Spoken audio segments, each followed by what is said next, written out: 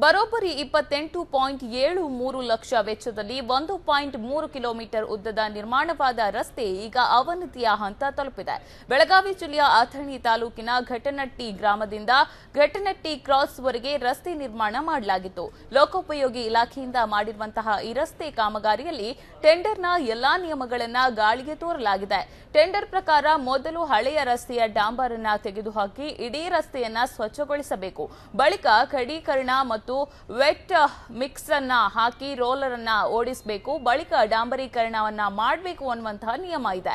ಆದರೆ ಗುತ್ತಿಗೆದಾರರ ಅಥಣಿ ಲೋಕೋಪಯೋಗಿ ಇಲಾಖೆಯ ಅಧಿಕಾರಿಗಳ ಜೊತೆ ಶಾಮೀಲಾಗಿ ನಿಯಮ ಗಾಳಿಗೆ ತೂರಿ ಇರೋ ರಸ್ತೆಯ ಮೇಲೆಯೇ ಎರಡು ಇಂಚು ಡಾಂಬಾರೀಕರಣ ಮಾಡಿ ಸರ್ಕಾರದ ಹಣವನ್ನ ಕಬಳಿಸಿದ್ದಾರೆ. ಇಪ್ಪತ್ತೆಂಟು ಪಾಯಿಂಟ್ ಏಳು ಲಕ್ಷ ವೆಚ್ಚದಲ್ಲಿ ನಿರ್ಮಾಣ ಮಾಡಬೇಕಿದ್ದ ರಸ್ತೆಯನ್ನ ಅಂದಾಜು ಹತ್ತು ಲಕ್ಷ ರೂಪಾಯಿ ವೆಚ್ಚದಲ್ಲಿ ಮುಗಿಸಿ ಇನ್ನುಳಿದ ಹಣವನ್ನ ಅಧಿಕಾರಿಗಳು ಗುತ್ತಿಗೆದಾರರ ಶಾಮೀಲಾಗಿ ಲೂಟಿ ಮಾಡಿದ್ದಾರೆ ಅಂತ ಇಲ್ಲಿನ ಗ್ರಾಮಸ್ಥರು ಆರೋಪಿಸ್ತಾ ಇದ್ದಾರೆ.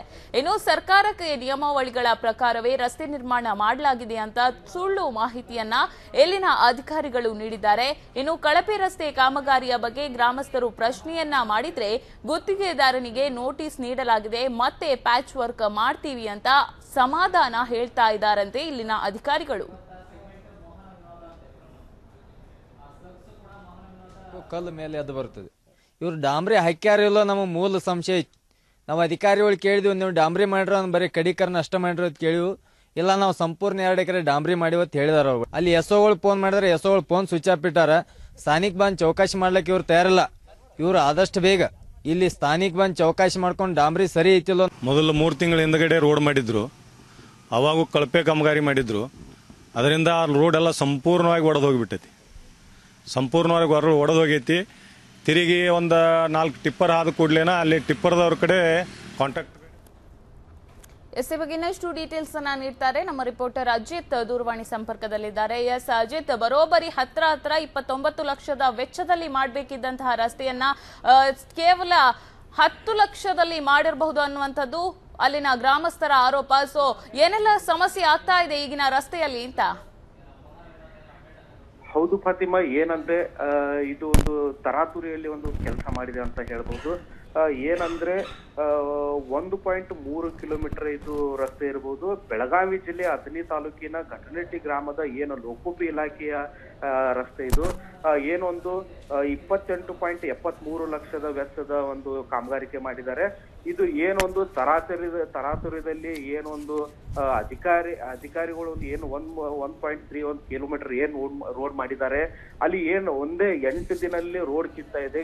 ಕೈಯಿಂದ ಕಿತ್ತರೂ ಕೂಡ ರೋಡ್ ಕೀಳ್ತಾ ಇದೆ. ಒಂದು ಅಲ್ಲಿ ಏನು ರೈತರಿಗೆ ಒಂದು ಒಂದು ಸವಲತ್ತು ಸಿಗ್ಲಿ, ಒಂದು ರಸ್ತೆ ಒಂದು ಅವ್ರಿಗೆ ಒಂದು ಸರಿಯಾಗಿ ರಸ್ತೆ ಸಿಗ್ಲಿ ಅಂತ ಹೇಳಿ ಒಂದು ಸರ್ಕಾರದವರು ಒಂದು ರಸ್ತೆ ನಿರ್ಮಾಣ ಮಾಡಿದ್ದಾರೆ. ಆ ರಸ್ತೆಯು ಏನ್ ಅಧಿಕಾರಿಗಳು ಏನ್ ಒಂದು ಎ ಡಬಲ್ ಇರಬಹುದು, ಮತ್ತೆ ಅಲ್ಲಿ ಏನ್ ಸಂಬಂಧಪಟ್ಟ ಅಧಿಕಾರಿಗಳು ಅವ್ರ ಜೊತೆ ಶಾಮೀಲಾಗಿ ಒಂದು, ಅವರೇ ಒಂದು ಪರ್ಸೆಂಟೇಜ್ ರೂಪದಲ್ಲಿ ಒಂದು ದುಡ್ಡು ತಿದ್ದಿದ್ದಾರೆ ಅಂತ ರೈತರು ಕೂಡ ಆರೋಪ ಮಾಡ್ತಿದ್ದಾರೆ. ಇದಕ್ಕೆ ರೈತರು ಕೂಡ ಯಾವುದೇ ರೀತಿಯಾಗಿ ನಮಗೆ ಸೂಕ್ತವಾದ ಕೆಲಸ ಮಾಡಿಕೊಡ್ಬೇಕು. ತರ ಅಂದ್ರೆ ಏನ್ ಅತನೀಯ ಲೋಕೋಪಿ ಇಲಾಖೆ ಎ ಡಬ್ಲ್ಯೂ ಮುಂದೆ ಪ್ರತಿಭಟನೆ ನಾವು ಮಾಡ್ತೀವಂತ ರೈತರು ಕೂಡ ಎಚ್ಚರಿಕೆ ಕೊಟ್ಟಿದ್ದಾರೆ. ಅದೇ ರೀತಿಯಾಗಿ ಏನ್ ರೈತರು ಕೂಡ ಹೇಳಿದ್ದಾರೆ ಕೆಲಸ ಮಾಡುವಾಗ ಮುಂದಿನ ಕೆಲಸ ಮಾಡಿದ್ರು ಯಾವುದೇ ರೀತಿಯಾಗಿ ಇವರು ಸರಿಯಾಗಿ ಕೆಲಸ ಮಾಡಿಲ್ಲ. ಇಪ್ಪತ್ತ ಸರಾಸರಿ ಇಪ್ಪತ್ತೊಂಬತ್ತು ಲಕ್ಷದ ಏನ್ ಕಾಮಗಾರಿ ಹತ್ತು ಲಕ್ಷದಲ್ಲಿ ಮುಗಿಸಿದ್ದಾರೆ. ಉಳಿಕಿದ ದುಡ್ಡು ಇವರೇ ಅಧಿಕಾರಿಗಳನ್ನು ಹಂಚಿ ಪರ್ಸೆಂಟೇಜ್ ರೂಪದಲ್ಲಿ ಹಂಚ್ಕೊಂಡಿದ್ದಾರೆ ಅಂತ ಆರೋಪ ಮಾಡ್ತಿದ್ದಾರೆ ಫಾತಿಮಾ. ಇವಾಗ ಈ ಬಗ್ಗೆ ಈಗ ಅಧಿಕಾರಿಗಳಿಗೆ ಬಗ್ಗೆ ನೋಟಿಸ್ ಅನ್ನ ನೀಡ್ಲಿಲ್ವಾ? ಅಲ್ಲಿಂದ ಯಾವುದೇ ರೀತಿಯಾದಂತಹ ರೆಸ್ಪಾನ್ಸ್ ಬರ್ಲಿಲ್ವಾ ಅಂತ?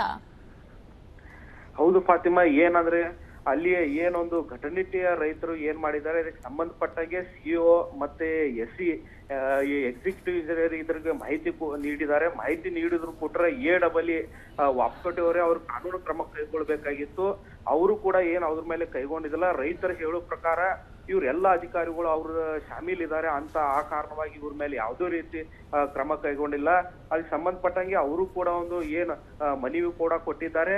ಇವತ್ತು ಏನ್ ಒಂದು ಏನು ಮಾಧ್ಯಮ ಕರೆಸಿ ಈ ತರ ಒಂದು ಏನ್ ಕೈಯಿಂದ ಅವರು ಏನ್ ರೋಡ್ ಕೀಳುವಂತ ಒಂದು ವಿಜುವಲ್ಸ್ ಕೂಡ ನೋಡಬಹುದು ಆ ವಿಜುವಲ್ಸ್ ನೋಡಿ ಇದಕ್ಕೂ ಎಚ್ಚೆತ್ತುಕೊಳ್ಳಿಲ್ಲ. ಅಂದ್ರೆ ಅವ್ರ ಮುಂದೆನೆ ಅಲ್ಲಿ ಏನ್ ಅತ್ನೀಯ ಲೋಕೋಪಯೋಗಿ ಎಲ್ಲರೂ ರೈತರು ಕೂಡಿ ಮತ್ತು ಗ್ರಾಮಸ್ಥರು ಕೂಡಿ ನಾವು ಪ್ರತಿಭಟನೆ ಮಾಡ್ತೀವಿ ಅಂತ ಎಚ್ಚರಿ ನೀಡಿದ್ದಾರೆ ಅಲ್ಲ ಅಜಿತ್ ಈಗಾಗ್ಲೇ ಅದಕ್ಕೊಂದು ಡಾಂಬರೀಕರಣ ಮಾಡಬೇಕು ಅಂತ ಹೇಳಿದ್ರೆ ಅದಕ್ಕೆ ಅದರದ್ದೇ ಆದ ನಿಯಮ ಇರುತ್ತೆ. ಕೆಲವೊಂದು ನಿಯಮಗಳ ಪ್ರಕಾರ ಅದನ್ನ ಮಾಡಬೇಕು. ಇಷ್ಟೊಂದು ತರಾತುರಿಯಲ್ಲಿ ಮಾಡಿರುವಂತದ್ದು ಯಾಕೆ? ಈ ರೀತಿ ಹಣವನ್ನ ಕಬಳಿಸಲಿಕ್ಕೋಸ್ಕರನ ಜನರಿಗೆ ಮೋಸ ಮಾಡಿರುವಂತದ್ದು ಅಂತ?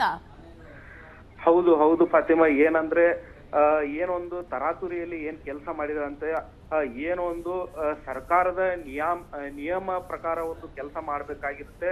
ಅದು ಏನೊಂದು ಇಷ್ಟೇ ಇಂಚು ಪ್ರಕಾರ, ಇಷ್ಟೇ ಇಂಚ್ ಅಂತ ಇರುತ್ತೆ. ಅದು ಯಾವುದೇ ರೀತಿ ಸರ್ಕಾರದ ಏನೊಂದು ನಿಯಮ ಪ್ರಕಾರ ಏನ್ ಕೆಲಸ ಮಾಡ್ಬೇಕಾಗಿತ್ತು ಯಾವುದೇ ರೀತಿಯಾಗಿ ಕೆಲಸ ಮಾಡಿಲ್ಲ.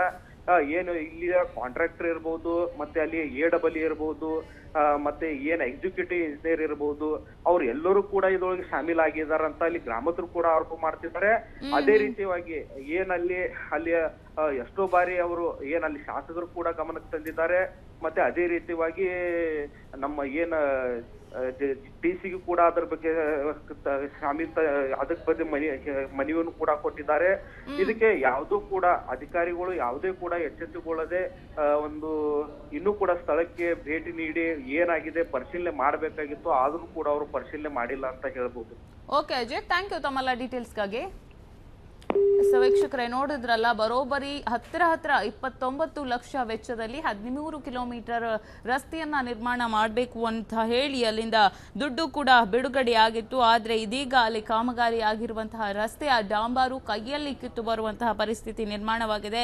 ತರಾತುರಿಯಲ್ಲಿ ಕಾಮಗಾರಿಯನ್ನ ಮುಗಿಸಿದ್ದಾರೆ. ಇಪ್ಪತ್ತ ಎಂಟು ಲಕ್ಷ ಪಾಯಿಂಟ್ ಏಳು ಇಪ್ಪತ್ತೆಂಟು ಪಾಯಿಂಟ್ ಏಳು ಮೂರು ಲಕ್ಷ, ಅಂದ್ರೆ ಹತ್ರ ಹತ್ರ ಇಪ್ಪತ್ತೊಂಬತ್ತು ಲಕ್ಷ ರೂಪಾಯಿ ಹಾಗೆ ಬರುತ್ತೆ. ಸೊ ಇದನ್ನ ಹತ್ತು ಲಕ್ಷದಲ್ಲಿ ಮುಗಿಸಿ ಉಳಿದಂತಹ ದುಡ್ಡನ್ನೆಲ್ಲವನ್ನ ತಾವು ತಮ್ಮ ಕಿಸೆಗೆ ಹಾಕಿಕೊಂಡಿರುವಂತದ್ದು ಅಧಿಕಾರಿಗಳು. ಇದರಲ್ಲಿ ಅಧಿಕಾರಿಗಳು ಕೂಡ ಶಾಮೀಲಾಗಿದ್ದಾರಂತೆ. ಗುತ್ತಿಗೆದಾರರಿಗೆ ಯಾವುದೇ ಒಂದು ಪ್ರಶ್ನಿಸದೆ ಕೆಲವೊಂದು ನಿಯಮಗಳು ಇರುತ್ತೆ ಡಾಂಬಾರೀಕರಣ ಸಂದರ್ಭದಲ್ಲಿ. ಅದಕ್ಕೆ ಅದರದ್ದೇ ಆದಂತಹ ನಿಯಮ ಇದೆ ಅಂದ್ರೆ ಡಾಂಬಾರೀಕರಣದ ಬಳಿಕ ಅಂದ್ರೆ ಅದ ಆ ಡಾಂಬಾರ್ ಏನಿದೆ, ಹಳೆಯ ರಸ್ತೆ ಏನಿದೆ, ಅದರ ಡಾಂಬಾರನ್ನ ಕಿತ್ತು ಹಾಕಬೇಕು, ಆಮೇಲೆ ಅದನ್ನ ಸ್ವಚ್ಛಗೊಳಿಸಬೇಕು, ನಂತರ ಹೊಸ ಡಾಂಬಾರನ್ನೆಲ್ಲ ಹಾಕುವಂತಹ ನಿಯಮಗಳಿದೆ. ಆದ್ರೆ ಇದ್ಯಾವುದನ್ನ ಕೂಡ ಮಾಡದೆ ಕೇವಲ ಡಾಂಬಾರನ್ನ ಇದ್ದ ಡಾಂಬಾರಿನ ಮೇಲೆಗೆ ಮತ್ತೆ ಪುನಃ ಎರಡು ಇಂಚಿನಷ್ಟು ಡಾಂಬಾರನ್ನ ಹಾಕಿ ಅಲ್ಲಿ ಜನರಿಗೆ ಮೋಸ ಮಾಡಿರುವಂಥದ್ದು. ಇದೀಗ ಆ ರಸ್ತೆಯ ಡಾಂಬಾರ್ ಎಲ್ಲ ಕೂಡ ಕೈಯಲ್ಲಿ ಎದ್ದು ಬರ್ತಾ ಇದೆ. ನೀವು ನೋಡೋ, ನೋಡ್ತಾ ಇರಬಹುದು ಯಾವ ರೀತಿಯಾಗಿದೆ ಅಲ್ಲಿನ ಕಾಮಗಾರಿ ಅಂತ. ಇದೀಗ ಈ ಒಂದು ಕಳಪೆ ಕಾಮಗಾರಿಯನ್ನ ಮಾಡಿರುವಂಥದ್ದು. ಮತ್ತೆ ಪುನಃ ಅದನ್ನ ಪ್ಯಾಚ್ ವರ್ಕ್ ಮಾಡ್ತೀವಿ ಅನ್ನುವಂಥದ್ದನ್ನ ಕೂಡ ಹೇಳ್ತಾ ಇದ್ದಾರಂತೆ. ಹಾಗಾದ್ರೆ ಈಗಾಗಲೇ ಬಿಡುಗಡೆಯಾದಂತಹ ಹಣ ಏನಾಯ್ತು? ಮೊದಲೇ ಮಾಡಬಹುದಿತ್ತಲ್ಲ ಅವರಿಗೆ ಈ ಕೆಲಸ? ಈಗ ಮತ್ತೆ ಪ್ಯಾಚ್ ವರ್ಕ್ ಮಾಡೋದಕ್ಕಿಂತ ಮೊದಲೇ ಸರಿಯಾದ ರೀತಿಯಲ್ಲಿ ಮಾಡ್ತಾ ಇದ್ರೆ ಈ ರೀತಿಯಾದಂತಹ ಸಮಸ್ಯೆ ಉದ್ಭವ ಆಗ್ತಾ ಇತ್ತಾ ಅಲ್ಲಿ ಅಧಿಕಾರಿಗಳು ಯಾಕೆ ಕಣ್ಮುಚ್ಚಿಕೊಳ್ತಿದ್ದಾರೆ? ಅವರು ಕೂಡ ಶಾಮೀಲಾಗಿದ್ದಾರೆ, ಅವರು ಕೂಡ ಈ ಬಗ್ಗೆ ಕೈ ಜೋಡಿಸ್ತಾ ಇದ್ದಾರಾ?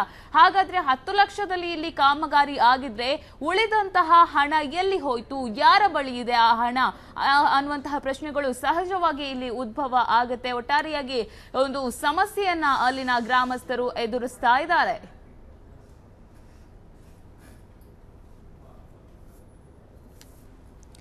ವೀಕ್ಷಕರೇ ನೋಡ್ತಾ ಇರಬಹುದು, ನೀವು ಕೂಡ ವಿಜುವಲ್ಸ್ನಲ್ಲಿ ಅಲ್ಲಿನ ಜನರು, ರೈತರು ಕೈಯಲ್ಲಿ ಆ ಒಂದು ಡಾಂಬಾರನ್ನ ಹಿಡಿದಿರುವಂತದ್ದು. ಹಂಗಂದ್ರೆ ಕೈಯಲ್ಲೇ ಕಿತ್ತು ಬರುವ ರೀತಿಯಲ್ಲಿ ಇದೆ ಅಂತ ಹೇಳಿದ್ರೆ ಎಷ್ಟರ ಮಟ್ಟಿಗೆ ಕಳಪೆ ಆಗಿರಬಹುದು ಅಂತ ಹೇಳಿ ರೈತರಾಗಿರ್ಬಹುದು ಜನರಾಗಿರ್ಬಹುದು ಸಾಕಷ್ಟು ಹೋರಾಟವನ್ನ ಮಾಡಿ ನಮ್ಮ ಊರಿಗೊಂದು ಒಳ್ಳೆ ರಸ್ತೆ ಬೇಕು ಅನ್ನುವಂತಹ ಹೋರಾಟವನ್ನ ಮಾಡ್ತಾರೆ ಹಲವಾರು ಕಡೆ ಹೋಗಿ ತಮ್ಮ ಒಂದು ಬೇಡಿಕೆಯನ್ನ ಮುಂದಿಟ್ಟು ಹೇಗೋ ಹಾಗೋ ಹೀಗೋ ಒಂದು ರಸ್ತೆ ಡಾಂಬಾರೀಕರಣಕ್ಕೆ ಅವರಿಗೆ ಒಂದು ಇದು ಸಿಗುತ್ತೆ. ದುಡ್ಡು ಕೂಡ ಬಿಡುಗಡೆ ಆಗುತ್ತೆ. ಲಾಸ್ಟ್ಗೆ ಆ ದುಡ್ಡು ಬಿಡುಗಡೆ ಆದರೂ ಕೂಡ ಈ ರೀತಿ ಅಧಿಕಾರಿಗಳು ಅಲ್ಲಿ ಆ, ಹಣವನ್ನ ಗುಳುಂ ಮಾಡೋದು ಎಷ್ಟರ ಮಟ್ಟಿಗೆ ಸರಿ? ಅಷ್ಟೊಂದು ಕಷ್ಟಪಟ್ಟಂತಹ ರೈತರಿಗೆ ಕೊನೆಗೆ ಸಿಗುವಂತಹ ಪ್ರತಿಫಲ ಈ ರೀತಿಯಾಗಿದ್ರೆ ಯಾರು ತಾನೇ ಸಹಿಸ್ಕೊಳ್ತಾರೆ ಅಂತ?